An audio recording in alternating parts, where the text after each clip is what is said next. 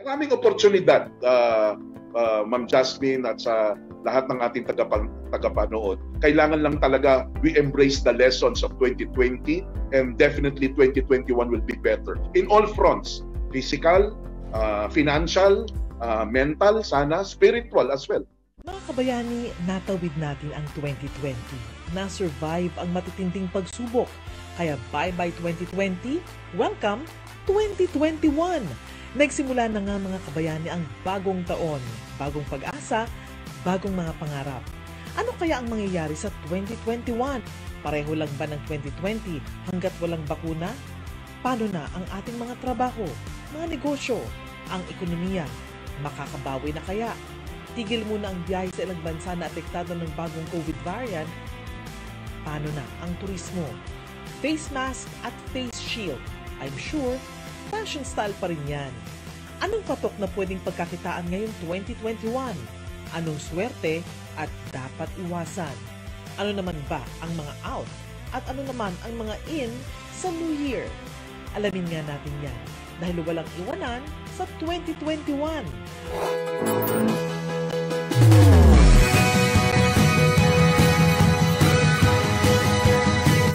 So ang Culaco Foundation ay kilala sa larangan ng pinan, uh, ng finance at financial opportunities.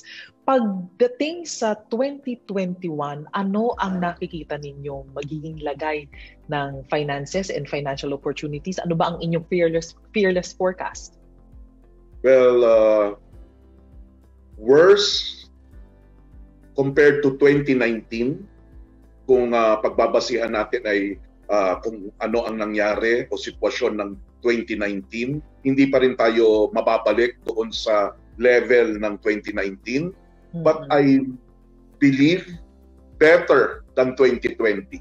Mm-hmm. Lalo na kung ang mga tao mula nung March hanggang December hanggang ngayon eh tuloy-tuloy na natututo, nag-a-adjust sabi ng mga ibang mga katulad ko na nag uh, tuloy-tuloy pa rin nagbibigay ng kanilang puro-puro o opinion, nakapag-pivot mula sa sarili nila, paano sila sa sarili nila, sa pamilya nila, kung paano sila mag-aral, kung paano sila magnegosyo, kung paano sila makipagkapwa-tao, kung yung lessons of 2020 na dapat pasalamatan natin, eh talagang na kuha ng isang individual, 2021 will be better than 2020. But mm-hmm. it may not be the same as, the same level as 2019. Okay. Pero uh, Ma'am Jasmine na uh, sa lahat no ng tagapakano tagapanood, uh, hindi lang hindi na ako lalabas sa akin na lang sarili. Daate ang pananaw ko basta ako meron pang sinasweldohan o meron pa akong uh, employment, okay ako. This pandemic taught me to have multiple sources of active income. Dati naalala mo, Jasmine, uh, kapag uh, nag, yan, dyan tayo sa mga TFC talks, no? na uh, may active income, may passive income. Mm-hmm. Yung active income, yung uh, pera na pinagtatrabahuhan natin. Passive income, yung investment income natin. So isa lang ang trabaho natin, mag-ipon tayo, tapos mag-invest tayo at meron tayong pagkakakitaan. Ngayon, hindi na pwede yon. Kung tinatanggap ng tao, OFW o nandito sa Pilipinas, na dapat meron akong dalawa, tatlo, apat, sila Ma'am Rose, uh, nakita nyo na po siguro sa Inglaterra o yung sa Amerika, usong-uso ang isang individual may hindi lang part-time job, may pangatlong trabaho, pang-apat na trabaho, kaya yung oras nila, hindi lang 8 oras sa isang araw nagtatrabaho. 10, 12 to 16 hours nagtatrabaho. So, uh, so you're ngayon, saying we should ngayon, have kailangan meron kang multiple sources of income. Hindi lang doon sa employer mo. You're saying active income, not passive. Yes. So, ibig sabihin yung trabaho ko ngayon, mamaya lalagari pa ako dapat. Lalagari ka pa dapat. But the question yes. is, kaya ba kasi may pandemya and hindi lang siya pandemya eh. we're also face we are also facing new kinds of variant na mas uh, na sinasabing mas nakakahawa pa so yes. pagdating sa pagtatrabaho ng uh, sa pagsasagawa ng active na trabaho pwede kaya yun magagawa ba siya sa 2021 isn't it too risky um, nitong nakaraang uh, March to December, uh, mga pito na iba't ibang active sources of income ang nagawa ko po. Hmm. Kasama na dyan yung oh. pinakasimple na pabay o yung pasabay. Alam niyo po yung pasabay, yung nauso sa isang barangay, uh, merong house, meron doon sa isang barangay, may mga household na puro senior citizen, bawal silang lumabas noon. Ako, kasama yung anak ko, eh, may nagpapasabay sa amin ng uh, pabili sa supermarket o sa palengke, eh hindi ko naman po hinihingi yung bawat household nagbibigay ng 100 pesos. 100 pesos. Eh kung uh, meron pong labing dalawang household, 1,200 na yon.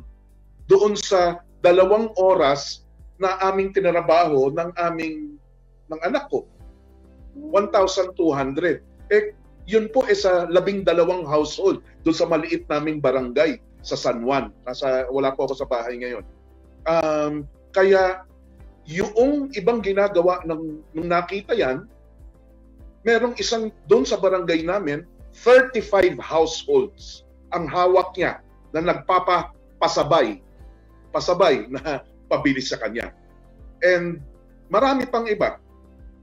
Google, sabi ng Google, isa sa mga desired companies to work for hindi na sila naghahanap ng hindi na requirement agad kung ano ang kurso mo or saan ka nag-aral. Tatlo, uh, pumunta po kayo sa Google, company, classified ads. Tatlo po ang hinahanap nilang qualification. Are you skilled? Are you equipped? Are you connected?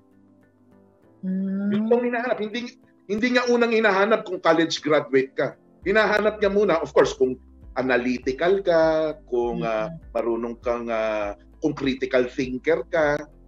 Ah, ni hindi sinasabi kung anong tinatanong kung scholar ka ba o summa cum laude ka ba. Tinatanong kung anong klaseng equipment meron ka, computer, cellphone. So Tinat- anong mga trabaho to? Tinatanong din kung gaano kabilis ang internet mo. Ayun, medyo may disadvantage tayo kasi alam nila na mabagal ang internet sa Pilipinas. Yung tanong mo, Ma'am Jasmine, uh, virtual assistant jobs mm-hmm. are on the rise. Marami ngayon ang uh, yung tinatawag na W uh, FH, work from home. That increased tremendously. Though, marami rin pagbabago. Anong pagbabago? Noon, kailangan mong pumasok mag-time in, basta hindi ka absent, hindi ka late, magbisi-bisihan ka, sa sweldo ka. Ngayon, hindi na. Output-based. Kasi nga, work from home eh. Hindi ko kailangan na mag-time in, time out ka. Kung project management ang trabaho mo sa akin o virtual assistance in whatever form, na nasa bahay ka, hindi mo hindi ka kasama sa risk na nandun sa lalabas uh, at makikisalamuha sa labas, you can earn what? $5 per hour, apat na oras ka magtatrabaho, uh, $20. $20 times 50 para madali ang kwantahan, 1,000 pesos sa apat na oras. Hindi na siguro masama. Eh, meron pa akong kaninang pasabay na 1-2. Eh di may 2,200 na ako. Ha? Hindi pa natatapos yung 8 oras. Bakit ko po sinasabi, balik ko lang mabilisan do sa multiple sources of income. Nabalita nyo dito, di ba? Uh, no work, no pay. Si employer, nahinto ang trabaho niya, yung mga empleyado, naiintindihan naman ng empleyado, Hello, walang pansweldo, eh kailangan ko maghanap ng pagkakakitaan. Kaya ang isang lesson talaga for 20 from 2020 na dapat bit-bit natin sa 2021. Whether magne-negosyo tayo, magdadagdag na aral tayo sa TESDA, pumasok po kayo, aralin niyo yung mga pwedeng trainings na mabigay ng TESDA, kailangan maging ready tayo to be a digital online native. No excuse now po. No excuse na kailangan eh, sanay tayo in this digital world. Uh, ang isang kapalit niyan, isa pang uh, sinasabi, hindi lang yung hindi na uh, task-based but result-based. Ang isa pang kapalit niyan, wala na pong retirement. Kaya tayong mga workforce ngayon, kalaban natin mga retired, mga retirees. Kasi work from home lang ang requirement ngayon eh. Mm-mm. So, Okay. uh, Opo.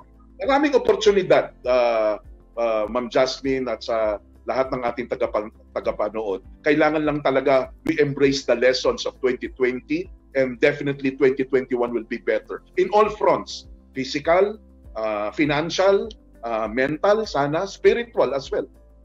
Okay. Huling katanungan na lamang po para sa inyong dalawa, Ma'am Lina and Sir Armand. Ano po ang inyong magiging advice? Ma'am Lina, papaano makaka-avail ang ating mga kababayan sa mga face-to-face classes ng TESDA?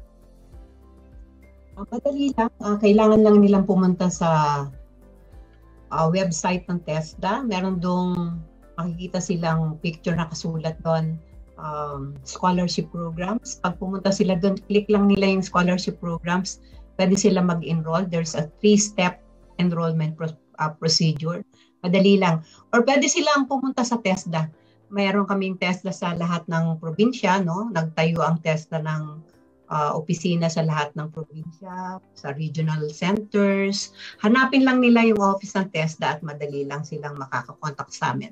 And of course, we also have our social media accounts. Pwede rin nilang pwede rin silang magsabi sa amin sa FB, sa aming uh, um, meron din kaming uh, Twitter account. So, uh, kailangan lang mak- makipag-ugnayan sila sa amin. And of course, meron kaming special uh, enrollment platform para sa ating mga OFWs. Um, makikita ito sa aming may TESDA app din kami that they can download in uh, Apple Store or Google Play Store. Uh, pag, pagbukas nila ng TESDA app, meron dong uh, OFW uh, enrollment platform. Pwede sila mag-enroll doon. Lagay lang nila yung cellphone number nila pagdating dito at kukontakin na sila ng aming mga uh, provincial directors. Kasi naglagay kami ng OFW desk sa lahat ng opisina ng TESDA. Okay. Sir Armand, last question na lamang po para sa inyo. No? Pa- Paano ba maging financially secure ngayong 2021? What's your advice? um, be uh, make sure you get to be uh, comfortable in the digital world.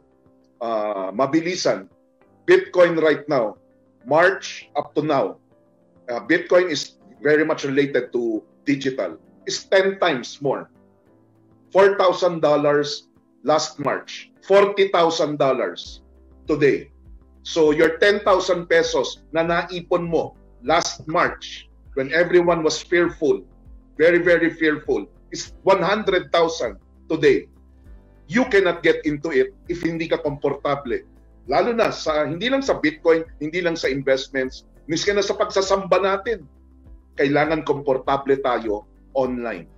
Get online, be a productive digital online citizen. Okay. Yan po mga kabayani, ang ah, Executive Director ng Colaco Foundation for Education, si Mr. Armand Benko, at ang ah, spokesperson ng TESDA, si Ms. Lina Sarmiento. Marami pong salamat sa inyong dalawa.